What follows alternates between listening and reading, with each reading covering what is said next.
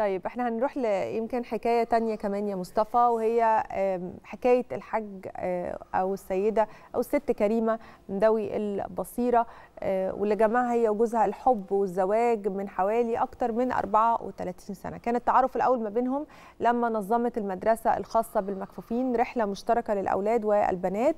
من يومها بدأ التقارب والتفاهم بينهم وقرروا إن هم يتجوزوا وكملوا حياتهم. ربنا رزقهم بالذرية الصالحة. معانا على التليفون الحاجة كريمة علي. بنصبح عليك يا حاجة كريمة. يا صباح النور. كل سنة وانت طيبة. وانتوا بألف صحة وسلامة. والنبي عايزين نعرف منك روشتة للحبيبة. وإحنا كده في عيد الحب. إيه هي كلمة السر عشان الزواج ينجح؟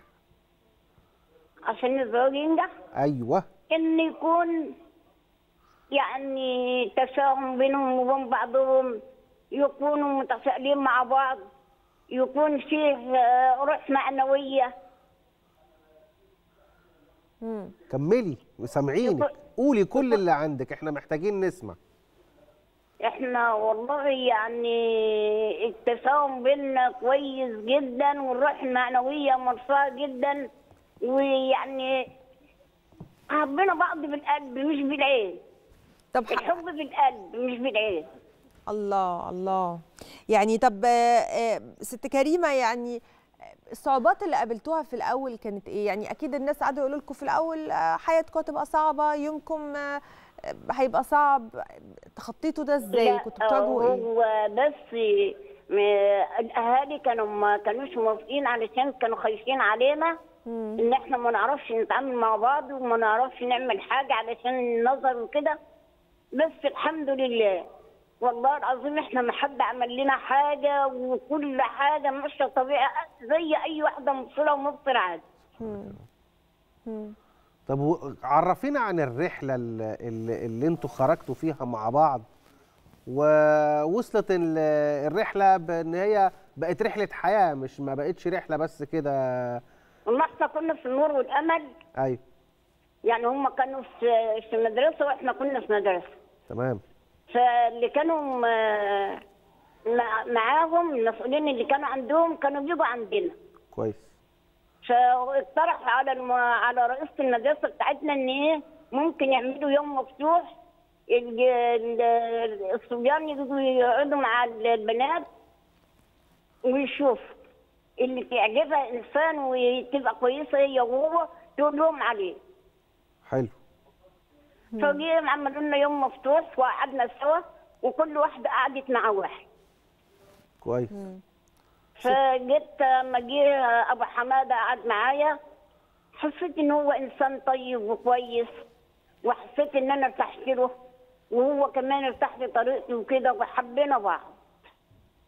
فجيت قلت لهم آه.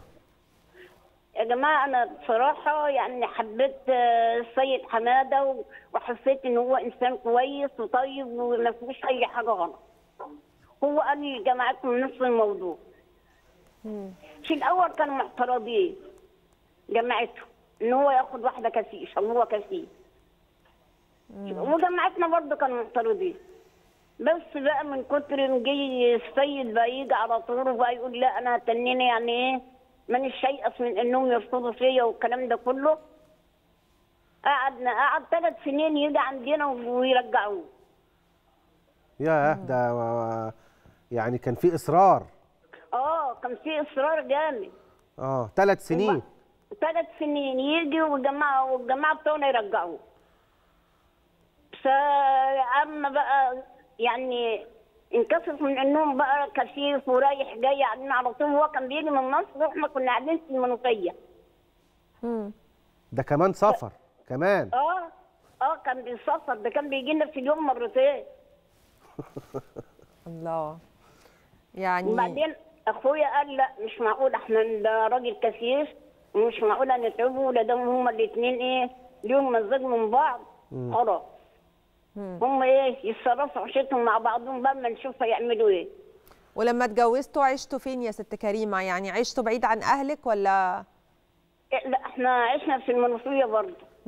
والدي قال لل- للسيد اللي ياخد بنتنا يقعدها جنبنا. بس هم ما كانوش بيعملوا لي حاجة بقى. ما خليتهمش يعملوا لي حاجة علشان ما يقولوش أهو إحنا قلنا المكفوفين مش هينفعوا مع بعض. لا. أنا عملت كل حاجة في البيت. مم. كل حاجة. واولادكم بقى احكي لي عنهم. أولاد أنا معايا ولد واحد بس. مم. احكي لي احكي لنا عنه. احسن ربنا يخليه لك يا رب. الله يخليك. ما خليتش الا هو ربنا يخليه لك ربيته وكبرته والله العظيم وكنت بتعامل معاه زي أي واحدة مصرة بتتعامل مع أولادها. كده تشوفه في الغيار وفي كل حاجة وهو صغير وهو كبير وكل حاجة. شكرا ليك يا حاجة كريمة. يعني دايما إحنا بنحب نحكي القصص دي لأنه للأسف إحنا بقينا من كتر ما قاعدين على موبايلاتنا طول الوقت شايفين الحياة ال- اللي على ال social media وكأن هو ده الطبيعي كأن طبيعي إن إحنا آه، طول الوقت آه، بنجيب الهدايا اللي مش عارفة إزاي والافوره عاملة إيه وبنسافر فين وبنعمل إيه وده مش الحقيقة ودي مش الحياة والناس دي بتعمل ده وبتنزل الصور دي عشان خاطر ال reach وال trend والحاجات دي كلها إنما ما فيش حياة كده. مفيش حياة بيحصل فيها كده كل يوم. دي الحياة الطبيعية ده الحب هو ده مش أي حاجة تانية. اللي بيظهر لنا على التليفونات ده مش حب ده ترند بالظبط كده. ده reach مش أي حاجة تانية. البوز البطة والسيلفي وحياتي أحلى مع أحمد و happy Valentine يا حبيبي. والحاجات اللي بنشوفها دي أهو. 50 سنة حب ما بين زوجين بيتكلموا كأنهم اتنين في الجامعة. آه بالظبط. روحهم حلوة جدا موتوني من الضحك. آه اتنين من ذوي الاحتياجات الخاصة أو من المكفوفين اللي هم فعلا فعلا يعني آه قصة جميلة بيروح لها يوميا من القاهرة للمنوفية مرة واتنين قعد يروح ثلاث سنين وأهلها تر- رفضوه كذا مرة وهو مصمم عليها وبيحبها و... وجالها راح لها. يعني إحنا بنتكلم عن قصص واقعية. هو ده الحب الحقيقي اللي موجود في بيوتنا كمصريين. إحنا النهارده فوق ال 100 مليون. ال 100 مليون مش هم ال traffic ومش هم ال social media لا ال 100 مليون فيهم قصص حقيقية بتعبر عن العطاء بتعبر عن الرضا بتعبر عن قيم إنسانية وأخلاقية هي اللي بتخلي الحب. أنا بعتبر الحب ده كأنه عربية والبنزين اللي بيتحط فيها إيه؟ حاجات كتير جدا. الاحتواء الاهتمام ال- الرضا فضيلة الرضا اللي اتكلمت عنها وقالت عنها. آه، آه، آه، حاجة زينب الحاجة حقيقي. زينب بالظبط كده وقالت الرضا. إحنا الناس النهارده بتقعد تقارن وبتقعد تشوف. للأسف للأسف هي دي. على فكرة كلنا بنقع في الحتة دي يعني خلينا نبقى حقيقي. متفقين. ده حقيقي. كلنا بنقع فيها اللي هو سقف التوقعات يعلى. بالظبط. أنا عايزة أعمل كذا. طب ما فلانة قادرة تعمل كذا. وده للأسف اللي خلى المعايير مش حقيقية أو ال- المفاهيم أنا آسفة مش حقيقية. المفهوم عن الحب إنه فلان يعمل لي ويجيب لي سفر لا مش حقيقه يعني ده مفيش مفيش كده. الطبيعي هو ده اللي إحنا بنشوفه معانا النهارده في حلقتنا.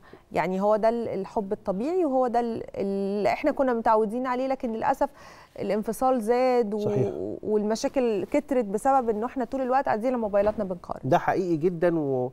وهو للأسف ال social media من الأمراض المجتمعية اللي دخلت وإحنا يمكن أول جيل اتصدم بيها. إحنا تحديدا يعني يمكن اللي قبلنا آه ما كانش شايف ده بشكل واضح. لأنها دخلت جوه بيوتنا وبقت تصور الحياة بشكل آه مفصل يعني فهو ده اللي خلى.